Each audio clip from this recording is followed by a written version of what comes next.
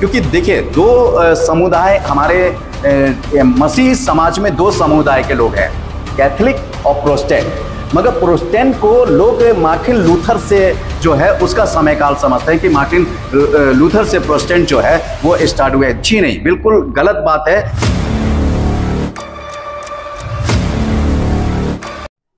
प्रभु यीशु मसीह के मधुर नाम में आप सबको जय मसीह की। प्रभु आप सबको बताए से आशीष दे, आमीन। हम बात कर रहे हैं प्रकाशित वाक्य की पुस्तक के विषय में। प्रकाशित वाक्य के इस श्रृंखला में आप सभी का स्वागत है। प्रकाशित वाक्य के सात खंडों में से हम दूसरे खंड की बात कर रहे हैं, सात कलिसियाओं के नाम पत्र प्रकाशित वाक्य की पुस्तक के बारे में जिस कलिसिया के बारे में हम पढ़ रहे हैं, वह है थुआथिरिया की कलिसिया के का जो है प्रथम भाग है। पिछले संदेश में हमने पिरगुमन की कलिसिया के बारे में सीखा था। हमने सीखा था श्वेत पत्थर और उस पत्थर पर लिखे नाम के विषय में, जिसे पाने वाले के सिवाय और कोई नहीं जानता। आज हम थुआतीरा के प्रथम पॉइंट के बारे में सीखेंगे और आप पढ़ सकते हैं प्रकाशित वाक्य दो अध्याय, उसका 18 से 29 पद तक। सबसे पहले हम थुआतीरा की कलिसिया के बारे में उसका थोड़ा सा परिचय जान लेते हैं कि उसका परिचय क्या है। थुआथीरा जो है, लिडुआ का एक शहर है। पिरगुमन और सरदीस के बीच की सड़क पर जो है, लाइकस नदी पर है जो हार्मस की जो एक सहायक नदी कहलाई जाती है। ये 301 और दो ईसा पूर्व के बीच जो है सेल्कुस जो प्रथम रहा है उसके द्वारा जो है ये थुआथीरा शहर जो था वो स्थापित किया गया था।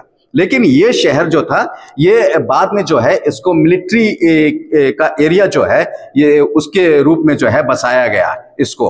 इस शहर के अंदर जो था, व्यापार का जो उद्योग और व्यापार और उद्योग का जो काम होता था, ये बड़ा महत्वपूर्ण था और ये व्यापार और उद्योग जो भी हुआ करते थे, उनका केंद्र बिंदु था। और ये उसी के नाम उसी के द्वारा जो है, ये ज़्यादातर जो है फ़ेमस हुआ है। और इसमें बहुत सी जो चीज़ें हैं, परमेश्वर का वचन बताता है कि बहुत सी चीज़ें तो जो थी बड़ी महत्वपूर्ण थी। आखिरकार ये एक आधुनिक शहर जो था, प्राचीन थुआथीरा जो था, एक स्थल पर बनाया गया है। बहुत सी ऐसी चीज़ें हैं जो देखने को मिलती हैं। जब आप इसके इतिहास में जाएँगे, इसकी स्मारक जो है, वो बहुत चीज़ों का, बहुत बातों का जो है, वो वर्णन करती हैं। मैं आपको बताना चाहता हूँ कि थुआतीरा की कलिसिया का जो अर्थ है, वो अर्थ क्या है? इसका जो अर्थ दिया गया है थुआतीरा का जो अर्थ है, श्रम का स्वाद, परिश्रम का स्वाद या पश्चाताप का बलिदान। इसका जो अर्थ है थुआथीरा की कलिसिया का जो समय काल रहा है 538 एडी से लेकर पंद्रह एडी तक का इसका जो है समय काल जो वो रहा है। अब मैं थुआथीरा के दूध की बात करूँगा। देखिए अब हम दूध की जब हम बात करते हैं जैसे मैंने कहा अभी थुआथीरा के 538 से एडी से लेकर पंद्रह तक जो था इसका समय काल रहा है। तो इतने समय काल में बहुत से ऐसे दूत रहे बहुत से ऐसे दूतों के बारे में जो है वो जानकारी। परंतु प्रभु जिस दूत से बात कर रहा है या प्रभु की ओर से जो दूत नियुक्त किया गया है, इसका जो वर्णन है, ना तो बाइबल में मिलता है और ना इतिहास में मिलता है।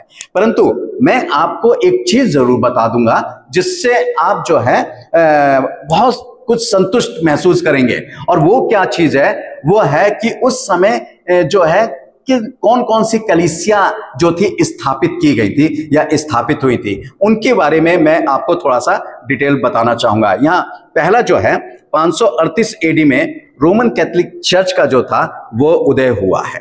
1517 में मार्टिन लूथर जो थे, वो ये पहले कैथोलिक चर्च के प्रीस्ट थे, उसके बाद ये कैथोलिक चर्च से अलग होकर इन्होंने लूथरन चर्च की स्थापना करी है। 1527 एडी में हेनरी आठवां इन्होंने अलिंगन चर्च की जो है, स्थापना की है। फिर आते हैं 1560 में, जॉन नॉक्स ने प्रेसविटेरियन चर्च की जो है, स्थापना की है। ये ये जो है, बहुत से ऐसे दूत रहे हैं। बहुत से जिन्होंने अलग अलग चर्च की स्थापना करी है और अलग अलग चर्च के ये फाउंडर रहे हैं। परंतु थुआथीरा की कलीसिया का जो समय काल का एक पर्टिकुलर जो दूत रहा है, जो पहले अपॉइंट किया गया था, उसके बारे में इसका वर्णन नहीं है। मगर इन्होंने जो है अलग अलग कार्य किए। जैसे मार्टिन लूथर को जो है, हम क्या बोलते हैं? सुधारक प्रचारक बोलते हैं। इन्होंने बहुत सा सुधार कार्य करा। बहुत सी चीज़ें। इन्होंने जो है कैथलिक चर्च के जो कैथेड्रल चर्च है कैथलिक का, वहाँ पर जो है, इन्होंने 95 सिद्धांतों को लगाया जो बाइबल के आधार पर थे। और भी बहुत सी चीज़ें इन्होंने जो है बताई हैं, बहुत सा जो है, सुधार करा है, जिसको प्रोस्टेंट की जो स्थापना हुई है बहुत से लोग जो है प्रोस्टेंट काल जो है मार्टिन लूथर से समझते हैं। परंतु मैं इस बात पर एग्री नहीं करता। क्यों नहीं करता? क्योंकि देखिए, दो समुदाय हमारे मसीह समाज में दो समुदाय के लोग हैं। कैथलिक और प्रोस्टेंट। मगर प्रोस्टेंट को लोग मार्टिन लूथर से जो है, उसका समय काल समझते हैं कि मार्टिन लूथर से प्रोस्टेंट जो है, वो स्टार्ट हुए। जी नहीं, बिल्कुल गलत बात है। वहाँ से नहीं हुए, बल्कि ये फोन्तियस से इनका जो मेल था, कुछ ना कुछ कैथलिक समाज से मिलता जुलता था, परंतु तब भी इन्होंने बहुत सी बातों को नजरअंदाज करके और बहुत सी बातों को इन्होंने अपनाया था, जो 800 या एक हज़ार पंद्रह एडी में जो थे, फोतिस रहे हैं। क्योंकि मार्टिन लूथर जो है, जब हम कहते हैं ना कि एक बात ध्यान दीजिएगा। थुआथीरा की कलिसा का समय काल कहाँ से शुरू हो रहा है? 538 एडी से। जब 538 एडी से शुरू हो रहा है, और इसका समय काल कब तक रहता है? ये बड़ा ध्यान देने की बात है कि पंद्रह तक रहता है। मगर मार्टिन लूथर जो है 1517 में आया है। तो उतने टाइम पीरियड में फिर उसका सुधारकार कहाँ से शुरू हुआ। तो ये बहुत सी चीज़ें हैं जिन्हें हमें जानना है, जिन्हें हमें समझना है, जो हमारे लिए बहुत ही ज़रूरी है। दूसरी चीज़, हमने पिछले संदेशों में भी एक बात सीखी थी कि कॉन्सिस्टेंस जो फ़र्स्ट था, जिसने 313 एडी में मसीही लोगों को स्वतंत्रता दे दी थी। वो मतलब वो अपने धर्म का प्रचार कर सकते थे, आराधना कर सकते थे, यीशु मसीह को मान सकते थे, यीशु मसीह का नाम ले सकते थे। ये स्वतंत्रता जो थी, वो उन्हें मिल चुकी थी। तो वो स्वतंत्रता जो थी, जब उन्होंने वो प्राप्त कर ली थी तो उसके बाद जो है, जब पाँच में कैथलिक कलिसिया हुई और ये अलग हुए प्रोस्टेंट अलग हुई है। तो और भी बदलाव जो है, वो उनके अंदर आता चला गया। तो ये दूतों की बात है। मगर यहाँ पर एक चीज़ हम और देंगे कि उस दूत के समक्ष मसीह का जो विवरण है, इसका मैं अट्ठारवा पद पढ़ना चाहूँगा। प्रकाशित वाक्य दो का अट्ठारह थुआतीरा की कलिसिया के दूत को ये लिख, परमेश्वर का पुत्र जिसकी आँखें आग की ज्वाला के समान और जिसके पाँव उत्तम पीतल के समान है, वो ये कहता है कि, अब देखिए, हम इसका बहुत गहराई के साथ पिछले संदेशों में वर्णन कर चुके हैं।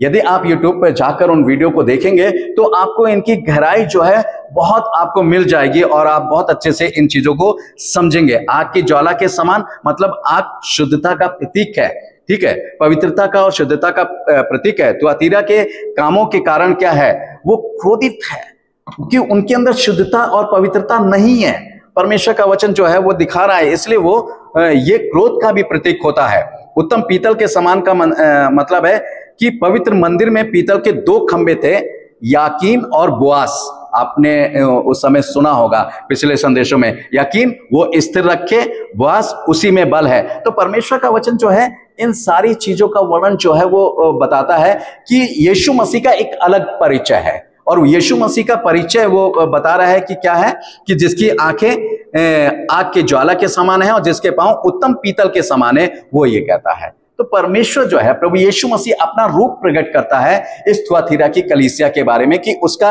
ये रूप क्या देखिए, सातों कलिसियाओं को पढ़ेंगे। सातों कलिसियाओं में प्रभु यीशु मसीह के अलग अलग रूपों का वर्णन जो है, वो दिया गया है, जिसको हमें समझना जो है, बहुत बहुत ज़्यादा ज़रूरी है। जिसकी आँखें आग की ज्वाला है और जिसके पाँव उत्तम पीतल है।